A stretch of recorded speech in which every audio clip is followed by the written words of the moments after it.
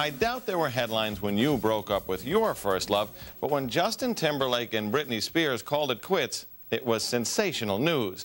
And as Barbara continues, Justin gets personal, talking about his love life, his sex life, and being just Justin.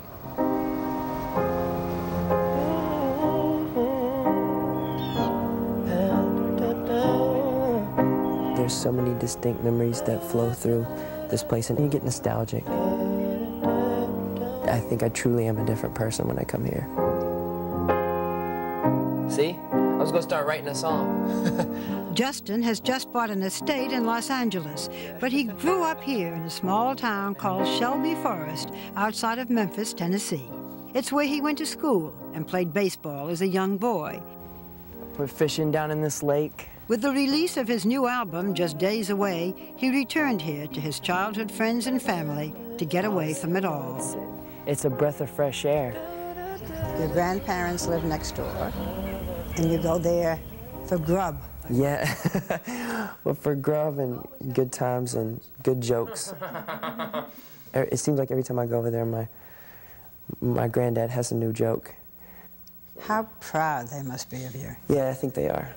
Shelby Forest is also one of the few places where Justin can get away from screaming fans and travel without bodyguards. You're about to have the best hamburgers you've ever had in your life.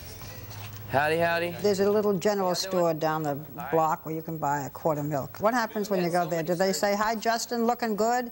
Why'd you cut your hair? well, for the most part, they just say hi. You know, they just say hi.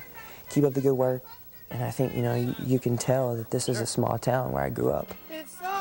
It is also here in Shelby Forest, with his mother at his childhood home, that Justin can truly relax and be himself.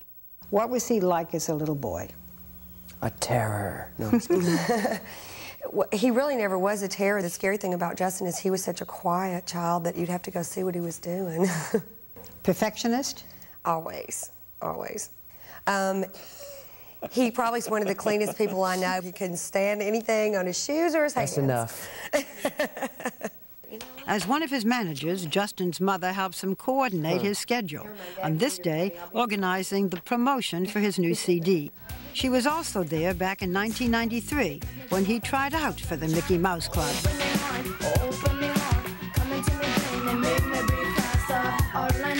And fell in love with another young musketeer, Britney Spears.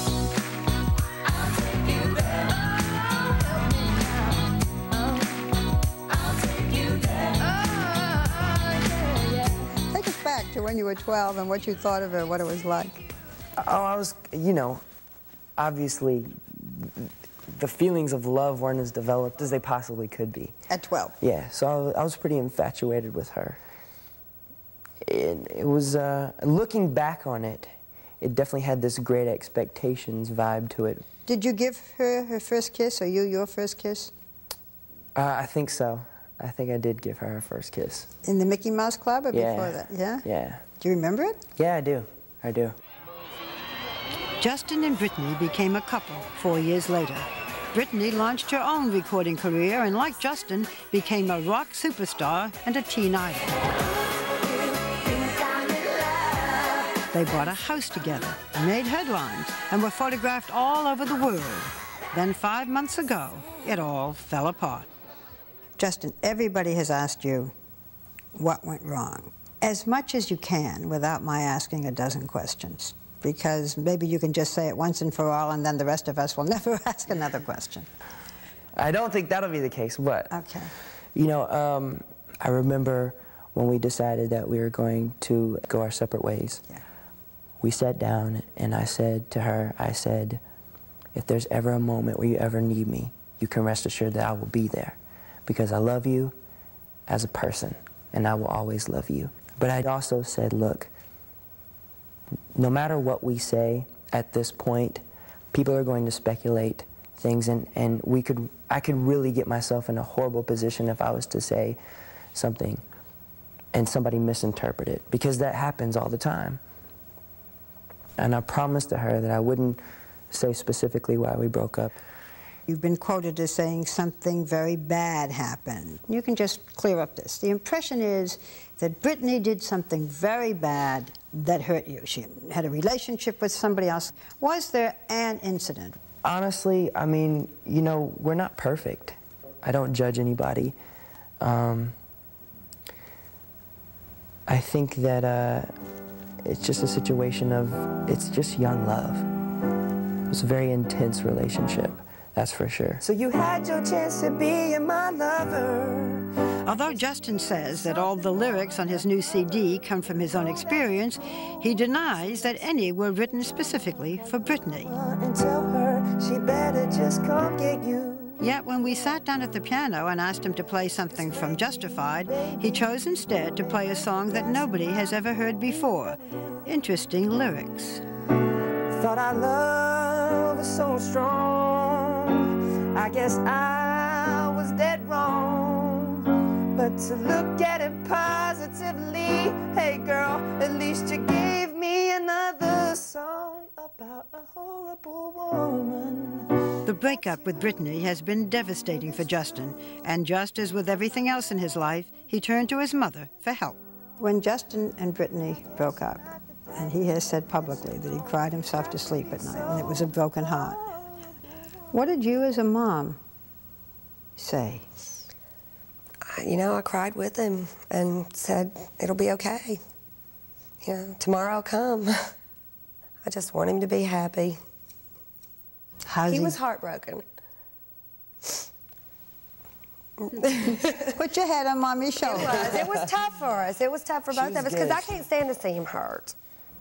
Can you imagine that someday you might be back together again with her, or is it a case now of just a. That's so tough to say. Yeah. I mean, at this point in my life, if you really want to know who my girlfriend is, it's those 13 songs on that CD. Mm-hmm. Don't feel me, baby. It's just Justin. As we've said, the only song to be released so far on the CD is Like I Love You, which is in part about Justin's desire to fall in love again. You're a good girl, and that's what makes me trust you. Late at night, I talk to you. Britney has always said, and I'm quoting, good morals mean waiting to have sex until after you've been married. I would definitely agree with her water. on that. Okay. Did you and she live up to this during your relationship? Sure. sure. Okay, I asked it, you answered, right? There you go. We both did our job. There you go. I got an idea. Don't you be my girlfriend? Since the breakup, Justin's been seen partying in nightclubs all over the country. He's been romantically linked to rock stars Janet Jackson and Christina Aguilera and actress Alyssa Milano. He denies the rumors and says he doesn't have a girlfriend. What kind of a girl do you want to bring home to mom? Somebody like her. Boom! Got brownie points on TV. We'll cut him some slack now for that one. No, I mean, uh, honestly, somebody that understands me, somebody that understands the things that I go through uh, in my career. Physically, what attracts you? Physically? Yeah. Oh, well, um, the first thing I kind of look at on a, on a woman is her mouth. Yeah? Yeah. Um, It's not what mama's as, far, as far as body parts, I'd probably say I'm a butt guy. I'm not going to fight it. Is that what you'd say? I like some junk in the trunk. some junk in the trunk. Yeah, that's that's that's a little Memphis. I you know I I had to put a little Memphis in. there. That's a lot of Memphis. Sick and tired of hearing all these people talk about. For now, Justin Timberlake says he's content to put his love life on hold and just make music. And with the release of his new solo CD tomorrow, he's about to take a new and important step in his career, but maybe not the most important step in his life. Lynn, what do you most want people to know about your son? that he genuinely, deep down inside, is a good is a good person. What do you most want people to know about you? About me, Yeah. I think I would have to definitely agree with my mother. You know what, Mom? You did something right. Thank you.